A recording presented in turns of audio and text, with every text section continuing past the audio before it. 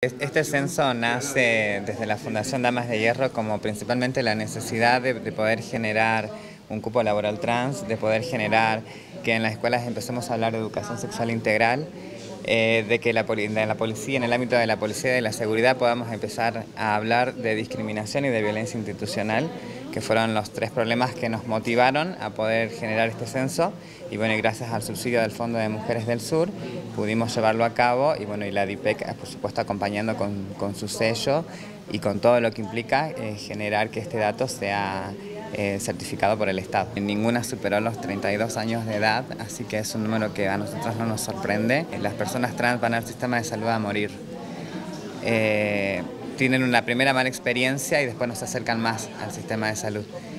Y bueno, y lo vemos complicadas con situaciones como discriminación en la familia, eh, el entorno, todo el entorno es hostil, la situación de prostitución.